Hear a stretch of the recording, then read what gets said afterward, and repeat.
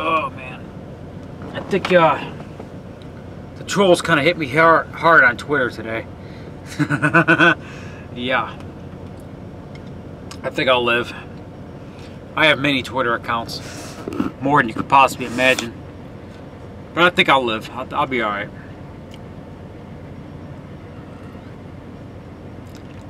Want to do this video. I want to give uh, my thoughts on the Obama speech. I haven't looked at the speech yet, but I'm going to look at the look at it the first time, and you're going to watch my reaction on camera as I watch Obama's speech for the first time.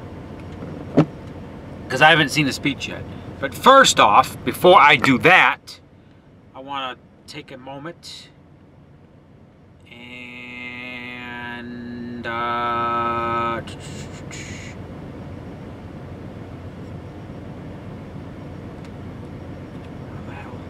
Hold on a second.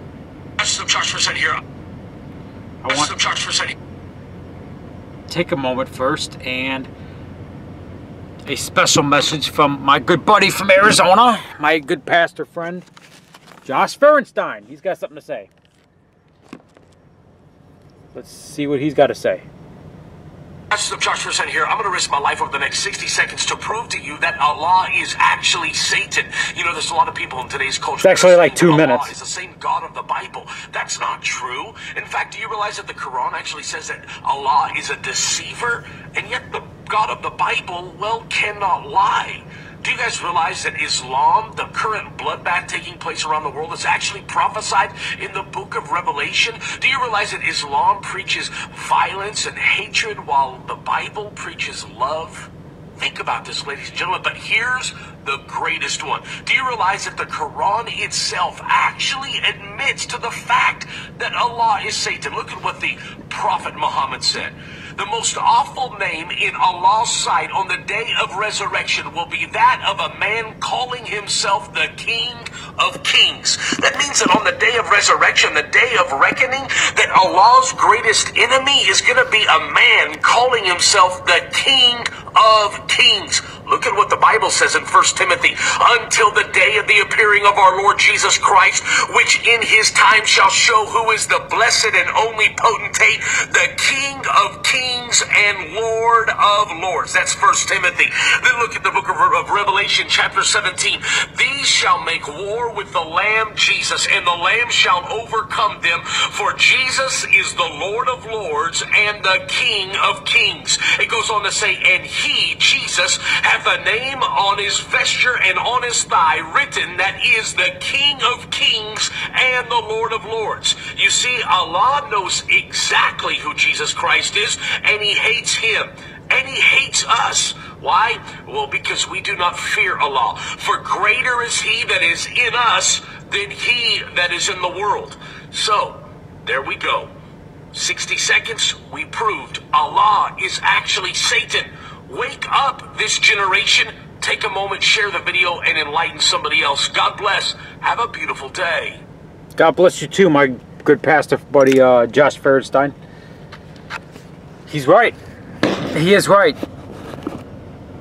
And that's the reason our government fears us, and that's the reason that our that you know that people fear Christians. People say that Christians are bigots and whatever.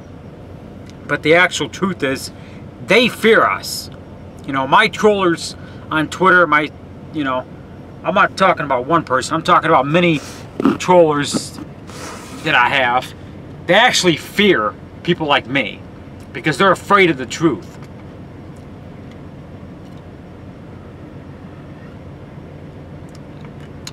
Because the truth will so set you free. I mean, are they afraid to be free? I, I don't know exactly, but the truth is powerful. It's so powerful that people are afraid of it. And because of that, people are afraid of Christianity and afraid of Christians because we speak the truth. They're they're afraid. They people can't fucking handle it. You know what I mean? Okay, so let's get to the next thing. Obama speech. And I'm not going to judge. I'm just going to give my thoughts as it goes. Here we go.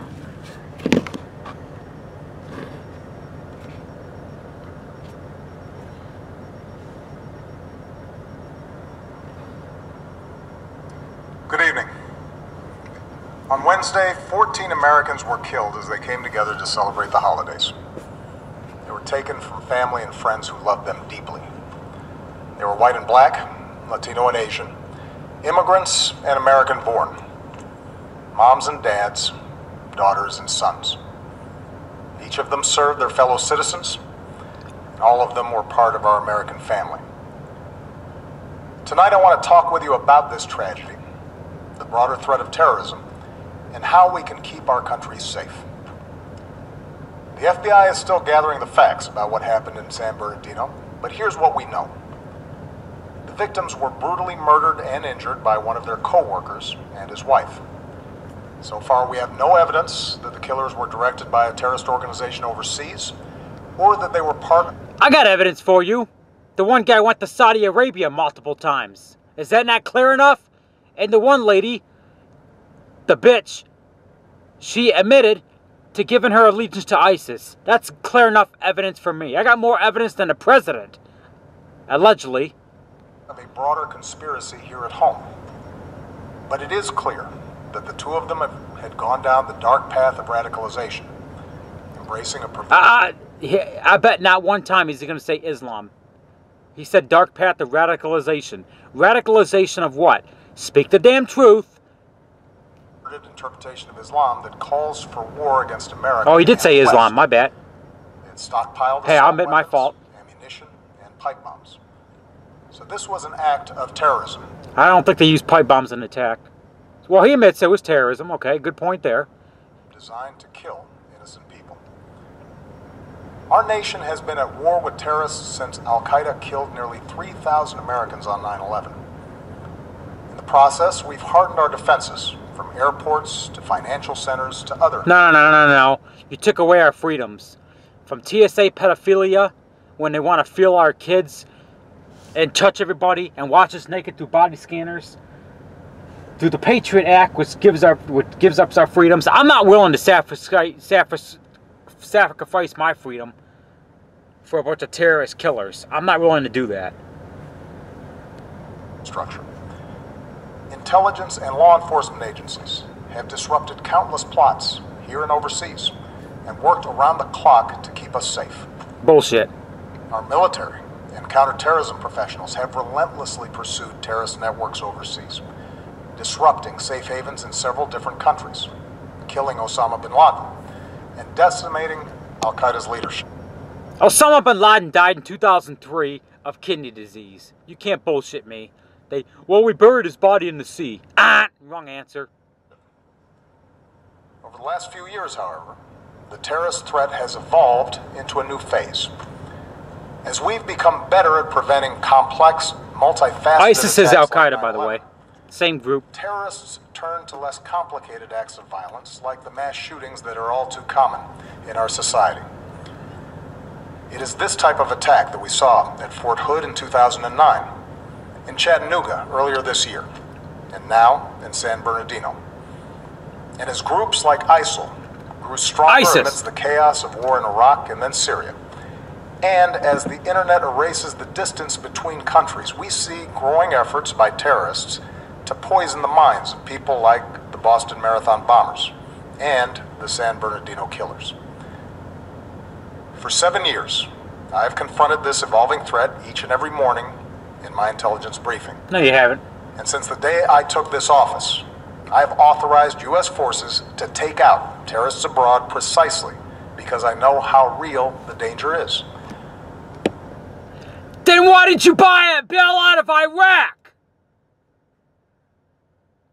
As Commander-in-Chief, I have no greater responsibility than the security of the American people. As a father to two young daughters who are the most One of them which hates you. Life, I know that we see ourselves with friends and co-workers at a holiday party like the one in San Bernardino. I know we see our kids in the faces of the young people killed in Paris. And I know that after so much war... The young people killed in Paris were attending a uh, death rock concert worshiping Satan called Eagle Death Metal or some shit.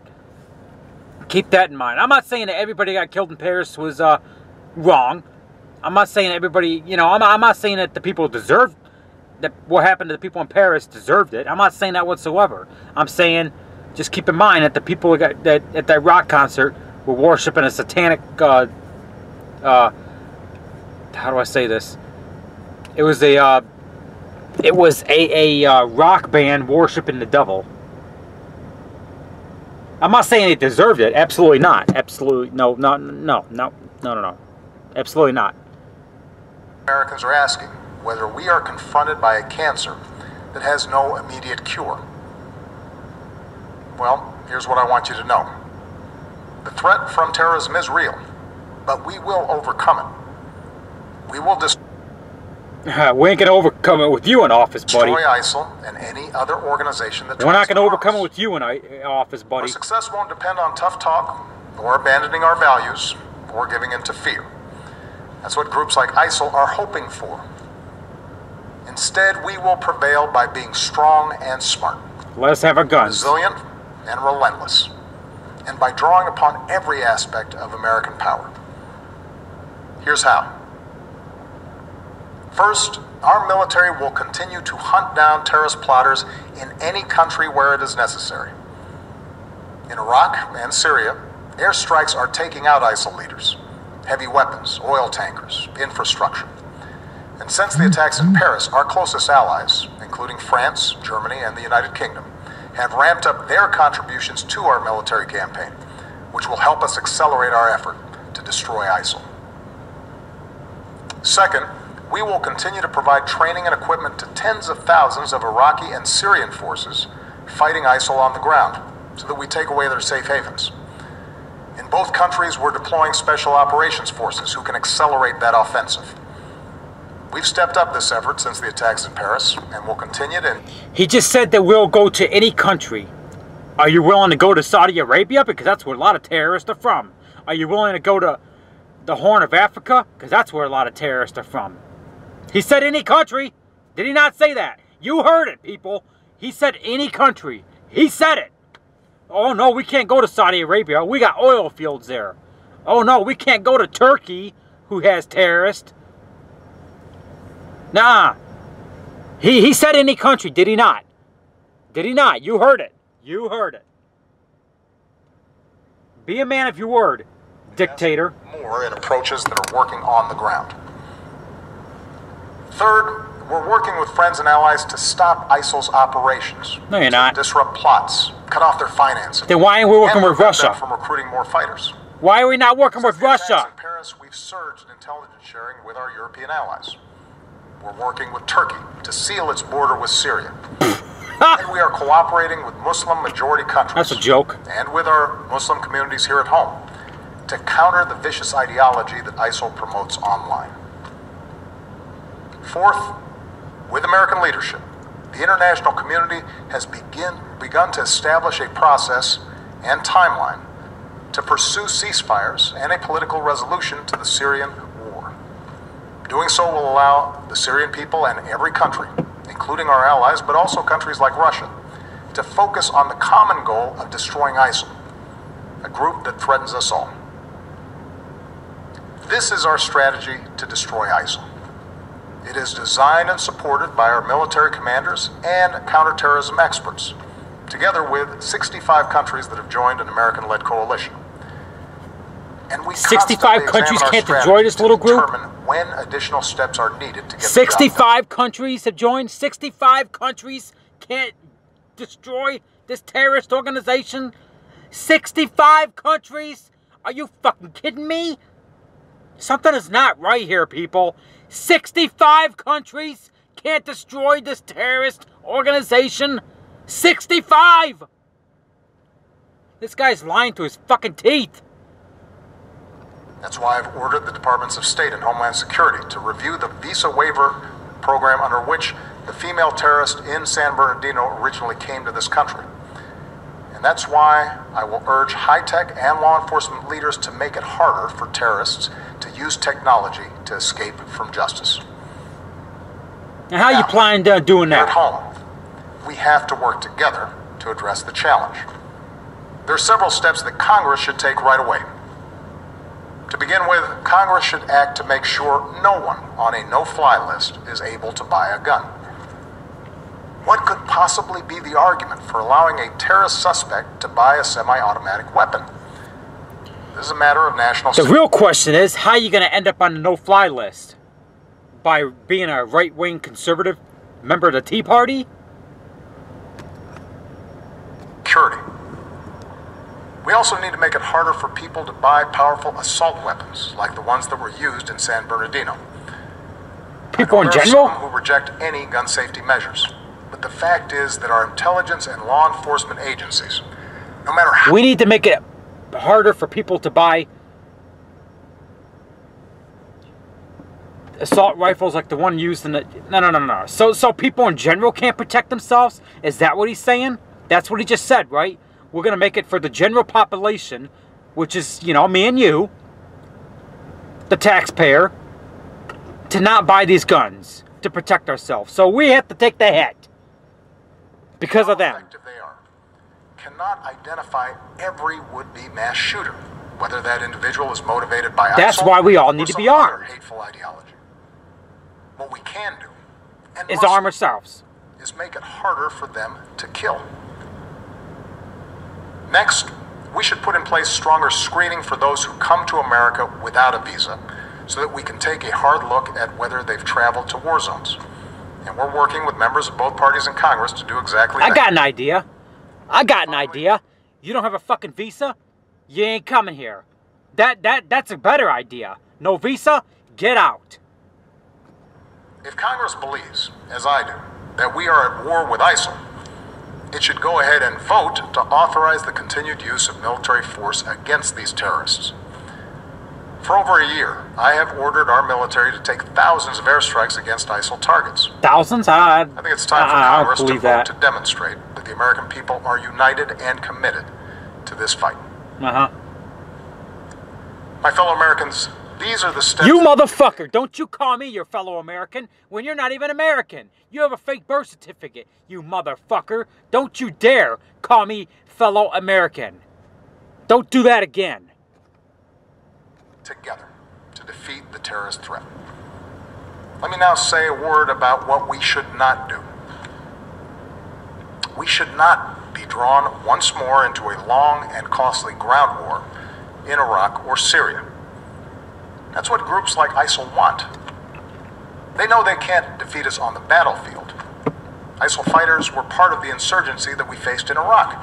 But they also know that if we occupy foreign lands, they can maintain insurgencies for years, killing thousands of our troops, draining our resources, and using our presence to draw new recruits. The strategy that we are using now airstrikes, special forces, You know what? You know, the problem with Iraq was we pulled out. You know what the problem with Vietnam was? We pulled out. Well, Vietnam was just a big slaughter, and so is pretty much Iraq. If I'm president of the United States, I'm going to have 100,000 troops in Syria killing ISIS. 100,000. Like it or not.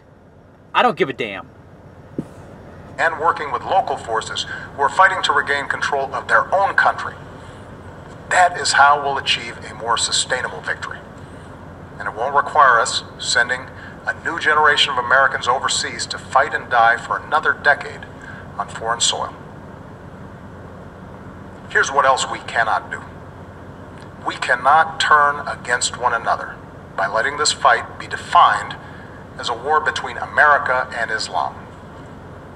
That too is what groups like ISIS He makes a good point, though. We can't turn against each other because of Islam. Right wing versus left wing, liberal versus conservative. We need to come together as Americans. Republican versus Democrat, you know, whatever. Let's come together, you know, forget all the damn liberal versus conservative, Democrat versus Republican, all that bullshit. We're all Americans. We're all Americans. And we need to come together, okay? You know what these terrorists want? They want us to fight. They want us to fight. They want the liberals and conservatives to fight each other. They want Democrats and Republicans to fight each other. That's what the terrorists want. Let's focus on the real enemy. And the real enemy is the jihadist. Okay? That's the real enemy. The real enemy isn't the left wing liberals. The real enemy is the jihads. I mean, the left wing liberals are brainwashed, but they're not the real enemy. They're just stupid. ISIL want. ISIL does not speak for Islam. They are thugs and killers. Yes, they do. A cult of death. And they account for a tiny fraction of a more than a billion Muslims around the world, including millions of patriotic It's more than a tiny Americans fraction. reject their hateful ideology. I'm not saying all Muslims are bad. Now, now hold on. I'm not saying all Muslims are bad. Absolutely not. I'm not saying that, you know, all Muslims. I've met some good Muslims. They're not all bad people. But he's saying a tiny fraction of the one billion. Uh, I think it's bigger than that. The vast majority of terrorist victims around the world are Muslim. If we're to succeed in mm-hmm. defeating terrorism, we must enlist Muslim communities as some of our strongest allies, rather than push them away through suspicion and hate. That does not mean denying the fact that an extremist ideology has spread within some Muslim communities. It is a real problem that Muslims must confront without excuse. Muslim leaders here and around the globe have to continue working with us to decisively and unequivocally reject the hateful ideology that groups like ISIL and Al Qaeda promote. To speak out against not just acts of violence, but also those interpretations of Islam that are incompatible with the values of religious tolerance, mutual respect, and human dignity. But just as it is the responsibility of Muslims around the world to root out misguided You just seen my Josh Feuerstein video, right? Who do you who do you trust more? Do you trust this idiot more, or do you, do you trust Josh Feuerstein more? Who's more truthful? I think Josh Feuerstein's more truthful. I gotta be honest. Guided ideas that lead to radicalization. It is the responsibility of all Americans, of every faith, to reject discrimination. It is our responsibility to reject religious tests on who we admit into this country. It's our responsibility to reject proposals that Muslim Americans should somehow be treated differently. Because when we travel down that road, we lose. That kind of divisiveness, that betrayal of our values, plays into the hands of groups like ISIL. Muslim Americans are our friends and our neighbors, our co workers, our sports heroes. And yes, they are our men and women. Our sports heroes. I can't remember. I, I don't know any Muslims that play sports. Or I don't know any Muslims that are in the NBA or the NFL or the NHL or the MLB or the WWE. I don't, if if I'm wrong, tell me. I mean, I could be wrong. I might be wrong. I'm, I'm not. I'm not trying to Muslim bash or anything. I'm not. You know, if any Muslims are watching, I apologize. I'm not trying to Muslim bash. I'm just saying that I don't know too many Muslims that are, you know, so-called sports heroes. Now, if I'm wrong, let me know. You know, and, I, and if and if you prove me wrong, I will admit that I'm wrong.